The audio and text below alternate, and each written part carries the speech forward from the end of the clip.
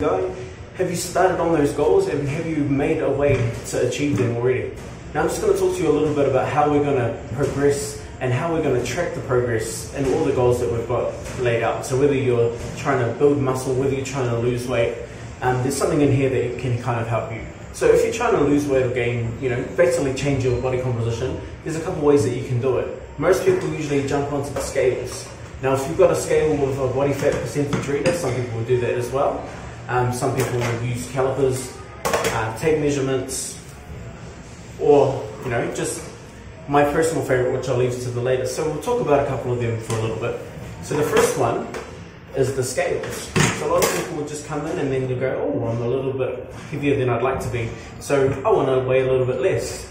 Now there's a few pros and cons to this. So the main pro is that you understand it. You understand what weight is. You know, I'm a little bit heavier than I want to be, so obviously I'm overweight and I want to lose some. So it's convenient to jump on. You don't need a lot of training, and you don't need anyone else to do it. The main issue with it though is it doesn't give you any indication of what your body composition is. So it doesn't tell you how much muscle mass you have. It doesn't tell you how much fat you have. So have you lost fat or have you lost muscle? With this, you don't really know. Even with using the body fat um, reader on it, it's always going to be a little bit off, somewhere between 10 and 20%. I've even seen it being off by 10% doing the measurements 10, 10 minutes apart.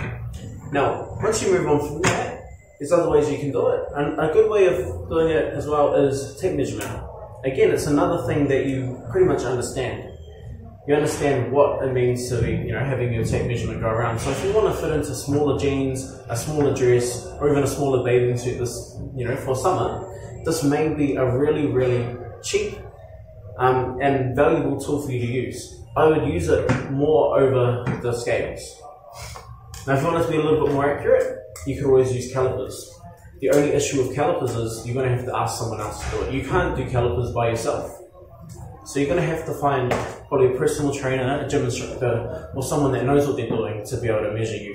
Now, this is probably out of the last three that I've said, probably the most inconvenient way to do it because you always have to find someone else to do it. Now, whether that's free or not, I don't know. Um, but yeah, basically, it just squeezes body fat and will let you know. If you really want to know what your body fat percentage, you probably use that. Now, those three things, you know, are all good and well.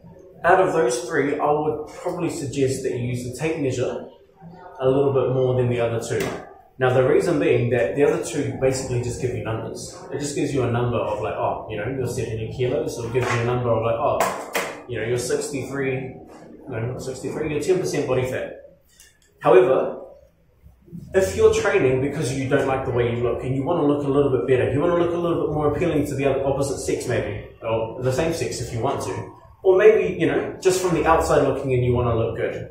Out of those three, the tape measure is going to be the best indicator of how good you're going to look and how, you know, how much you're changing in terms of appearance.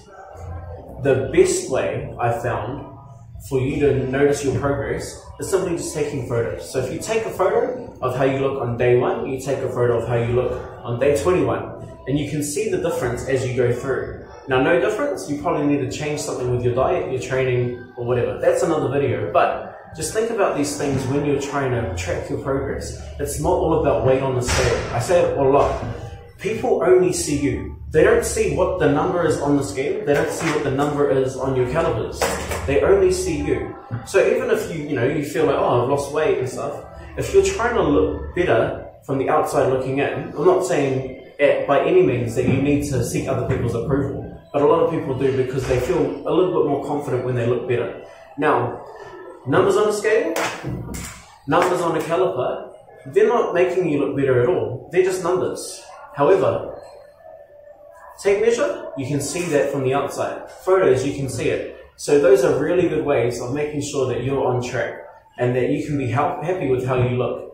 Developing confidence and just feeling better for the new year. Happy training, I'll see you next week.